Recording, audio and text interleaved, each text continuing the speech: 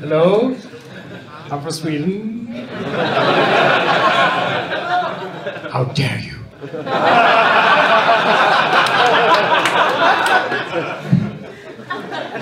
no, I'm a genuine Swede. My name is Tobias or Tobias. Feel free. Genuine Swedish person.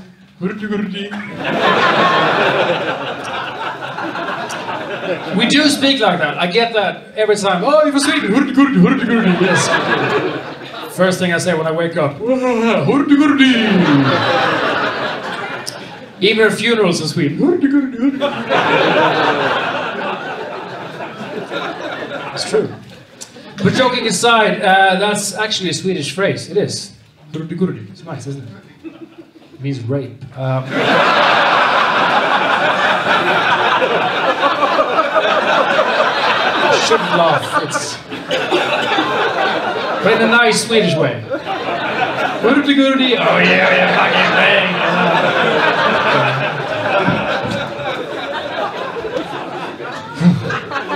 and give it up for our lovely MCs now. We have more applause for our lovely. I can't. There will be no more banter from this side of the stage. I can't do what she does. She's amazing. I can't do the interacting thing because I know too little about you. So I'm crap. This is my second language. I can't do the witty, you know, the UK comedy circuit. Hey, oh, you got legs. I,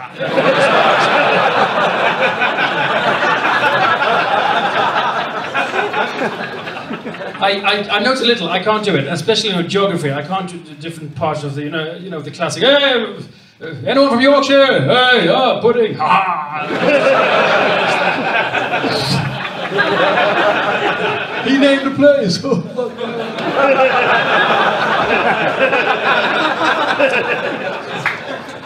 I tried it once with an old, old lady front row. Where are you from, madam? I'm from Dorchester. Good for you. Moving on. I've got no jokes about Brexit. It's like I have it. It's like the Da Vinci Code. It's too. We've had it as well in Sweden. Brexit, Brexit, Brexit. Johnson. Fuck, I hate it. And then Greta. How dare you? That's all we had. Four years. I'm not going to slag off Greta, but she's nice, but she's a bit tense. Imagine her on a date when she's 20. So, it's a good night kiss. How dare you? Sorry.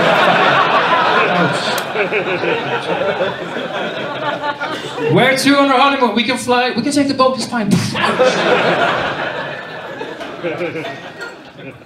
I'm a father of kids. Father of kids. That's yeah. I'm Swedish. I'm a father. I've got two kids, two girls, two twins. No, one set of twins. Two in total. Two lovely girls I have uh, called Hurdy and Gurdy.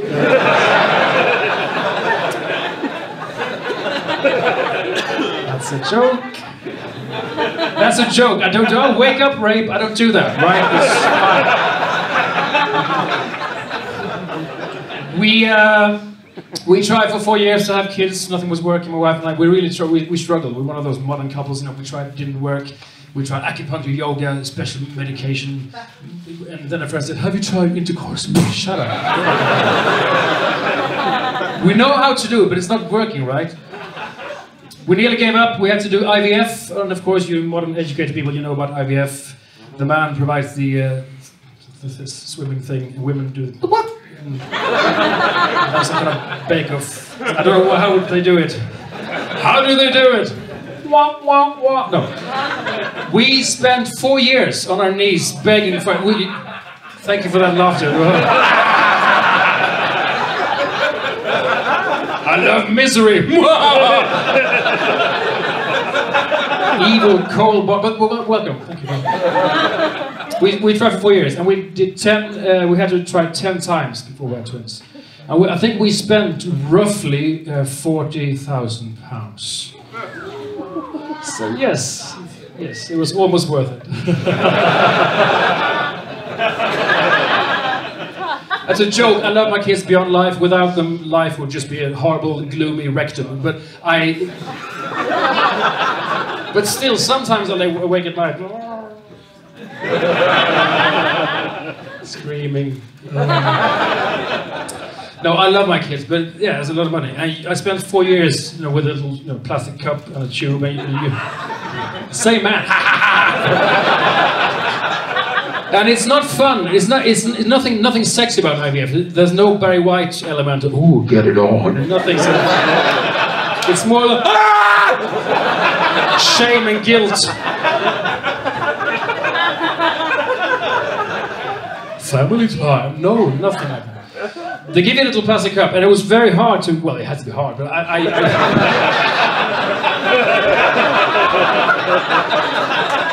I you go into a little horrible room, uh, the wank room. It's not called that. It's just. And you go in, and you have to sort of deliver. And I, I couldn't really, because there was a long line of guys. Wait, not in the room, just outside. there we are. Come on! That guy. No, no, no, no, no.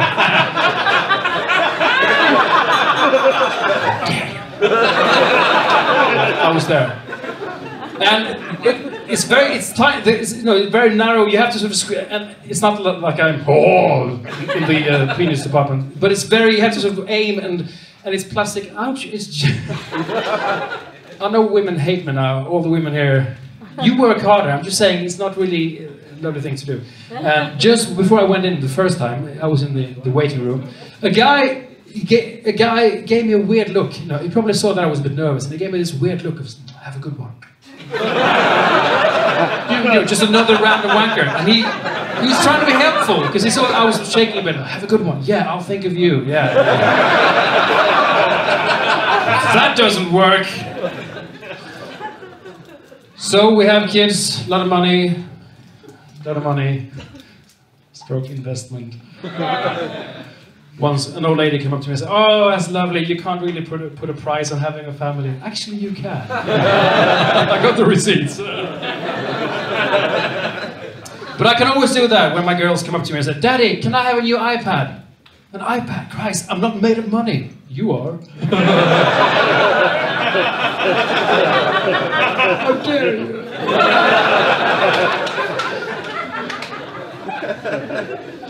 Sweden is a weird country. We uh, officially neutral as always. We help the Nazis, but who cares? Well, you care.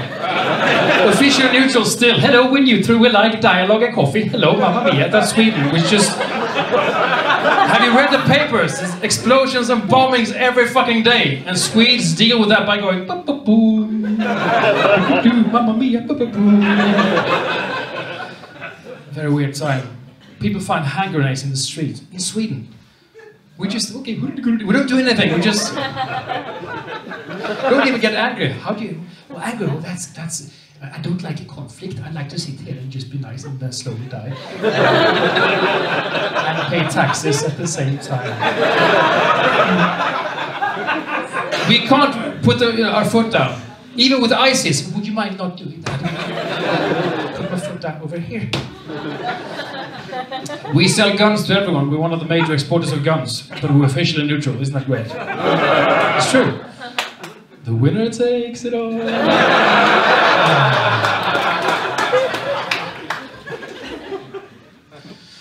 So we have, and we exploit a lot of people. We have, uh, like, we do. There's a lot of people from Eastern Europe working in London, right? In Sweden, we we have a lot of people from Poland coming in, uh, building everyone's houses, and we pay them in berries, tell them to start off. We don't treat them nice. And I, I was actually talking about Polish uh, people, you know, working uh, on stage once, and this man, about where you're sitting, he was standing up and he screamed. You know, he was going to hit me, and he said, "Shame!" I said, "What, what did I say? Shame!" And had this weird psychosis. Shame! Fucking shame! Sorry, are you from Poland? Shame! Yeah, Christ.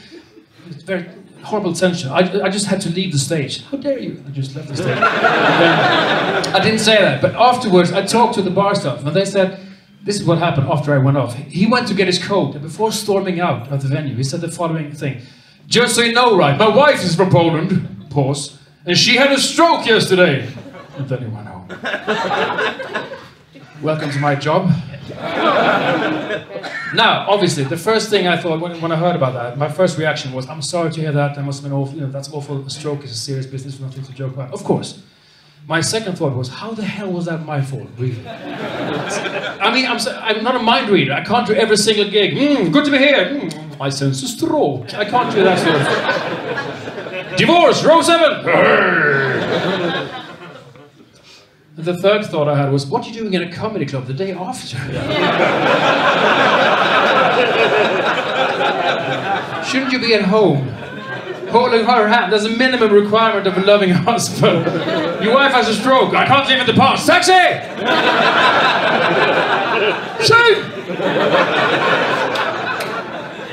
I mean, he was in a state of shock. I get that, but it was a very weird experience. It was going to hit me. The final thought I had was, okay, when it comes to the category of Poland and crossing the line, I'm not the worst guy in history, am I?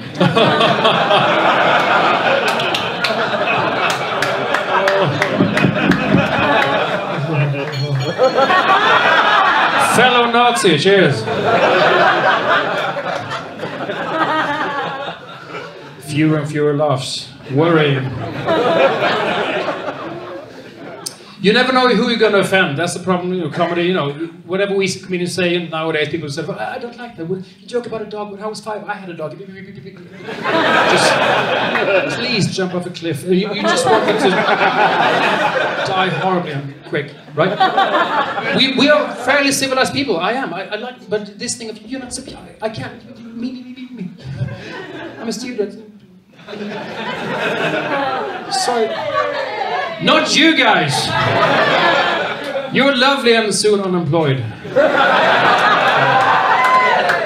and where's the German in the house? We had a Ge- was the German. Where, where's the German? I got a German joke for you. Okay, the Germans are taking over the supermarkets little by little.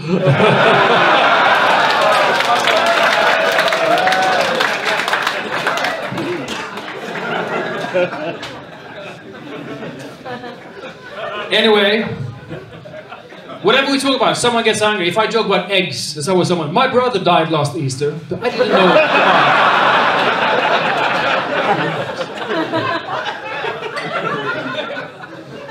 You never know who you're going to offend. My wife and I, we went to New York 2007, I think it was. Uh, we went to Broadway and we saw The Ultimate Jew, which was the name of a show. But I should say that anyway. Very important piece of information. The key piece of it, you know, it was called The Ultimate Jew by Jackie Mason, legendary American comedy genius. You know, he's Jewish, but he's, he's brilliant, right? You know Jackie Mason, of course. It was called The Ultimate Jew. So, no, we didn't go there to do Jew spotting. That would be weird. Hopefully illegal. Oy Shalom! Kosher skin thing. Another one. Do you like Corbyn?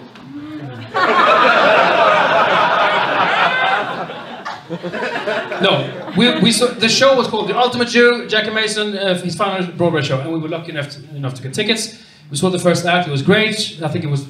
I think he's still alive. I hope.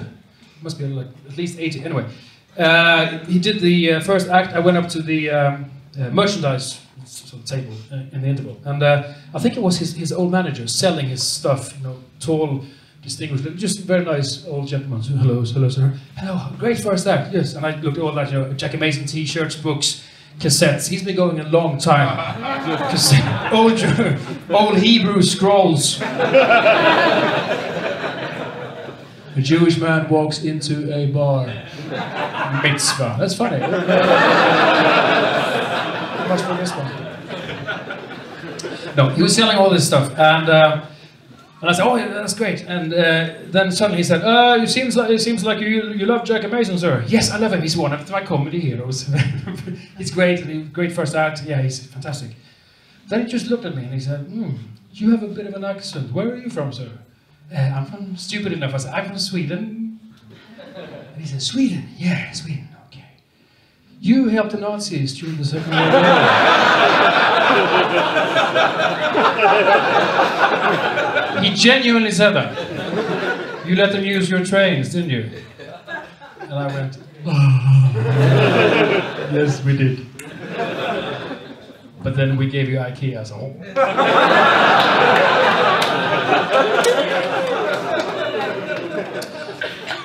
that didn't happen. I didn't say that. I just stood there like an idiot. Yeah, I know, I know, they did that. But they're all dead now. Do you feel better?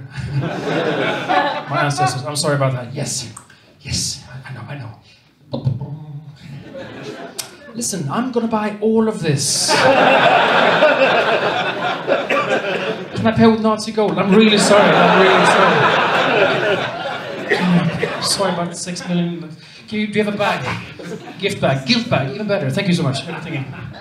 Walked away like a guilty Santa Claus. Sorry about everything. Sat down in the dark next to my wife. She said, What have you bought? A clear conscience. We can sleep now. It's fine. Same man. Hello. Please come to my funeral. Uh, but you can never relax. We have the same things. with, You know, people begging, uh, you know, breaks your heart on a daily basis. People sitting down just begging, hello. From same parts of the world, you know, you have the same people sitting down and I give money. I, am not trying to show off. But sometimes, hello, have money. But they never sort of stop. Say, thank you. I won't ask you tomorrow. just, hello, hello. Remember I? Hello. Hey, hey, hello, yes, good, apa mamma mia, yes, can I, do you speak any language apart from hello, hello, yes, could you take a photo of me and put it next to you, I've given you, I'm just, fucking hell, you just, but no, but it, it's it's really hard, you know, to know, know uh, what to do, and I was out walking with one of my girls, uh, Hurdy, which I bought for money. Um, Anyway, I'm walking, and we walk past this, this beggar. He's always sitting down outside my local grocery store with a big beard and a little cup, and he's sitting down uh, on the ground, right? And she said, Daddy, that man with that silly beard, shh! What? what? Why is he always sitting down on the ground having his coffee? She's 16, stupid, right?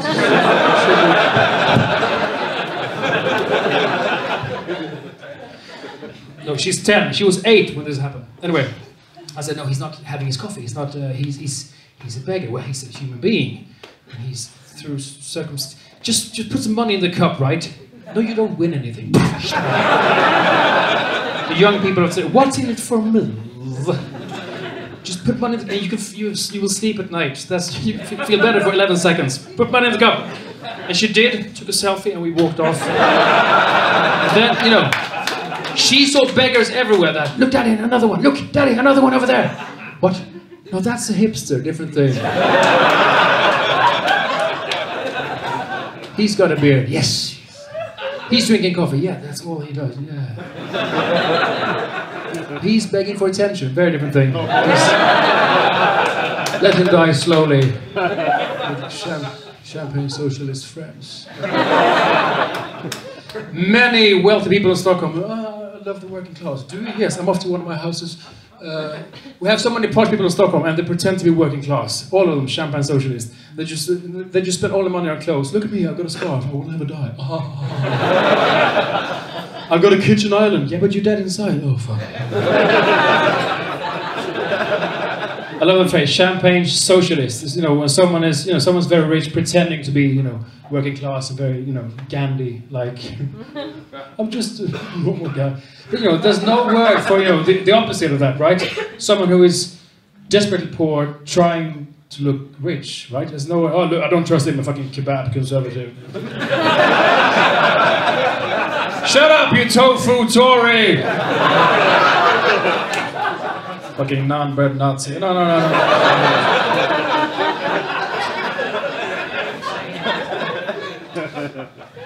And we have middle-class feminism in Sweden as well.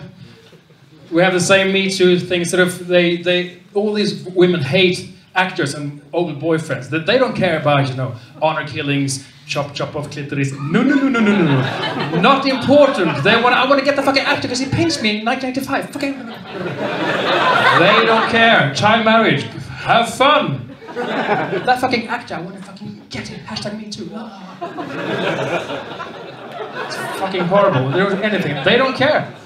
This whole thing with identity and stuff. We're saying they wanted to introduce a fourth, a fourth public toilet door in Sweden. You know, in all restaurants, all bars. Because like you, we have ladies, gents, and the, you know the disabled sign rep, and then they, they wanted a fourth gender-free toilet made of vanilla and dreams. So a TV uh, reporter asked this woman or man or he, she, it, them. So, the person said, "Why do we need a fourth door?" Okay, this is for all everyone who's sort of in between man and woman, haven't really decided yet. Maybe they're still in the closet, one foot sticking out. Where they're gonna go? And I saw that on television. I, I, I, sort of get what you. I know what you're saying, but is that really top priority, right? When you're out with your friends drinking You know, I need a piss, but who am I? Who am I? Who am I? That's not me. Fuck me. Shame! I'm sorry. Ahead. I haven't found myself. Me. Who? Just open your pants. There's a clue somewhere. I'm sure, right? Just ah, uh, it's fine. You can leave the have your life, but we can't build a door for every separate, you know, identity and sexual fetish or gender. Or how many doors are we going to have? We don't have enough Polish workers. I'm sorry.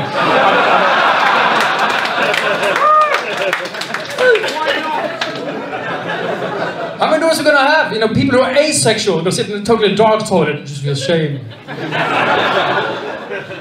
I don't know, fetish, you know, swingers, ten toilets in a circle. Ah! Hello, I'm a bisexual, half transsexual, lesbian smurf from Düsseldorf. Where am I gonna piss?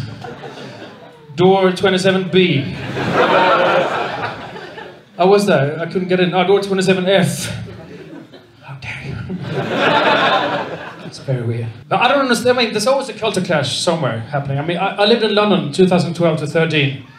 I had coffee with a guy named Danny, uh, English guy, and uh, I had known him for like five years. And when I lived in the UK, in London, my kids were two and a half, both of them. and we just had a coffee, and I just happened to say to my friend, Danny, last night I was in the bath with my kids, right? yeah, and same reaction. What I thought was a normal thing to say, because I'm from Sweden. And he just, he dropped his pint. I said, what, you in the bath with kids? I said, yes. Why are you whispering? Because you said you, you were in a bath with kids. I said, yes, I know them. Daddy.